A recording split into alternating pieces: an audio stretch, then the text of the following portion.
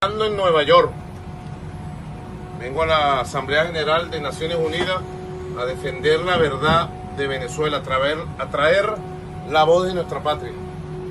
Hoy, miércoles 26 de septiembre, 1 y 16 minutos, la misma hora de Nueva York, de Caracas.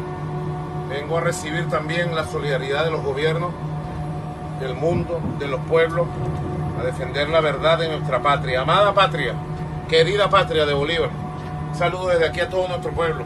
Vengo cargado de emoción, de pasión, de verdades, para que el mundo entero sepa que Venezuela está de pie, muy fuerte. Hoy somos más fuertes que nunca. Estamos de pie, andando el siglo XXI en revolución.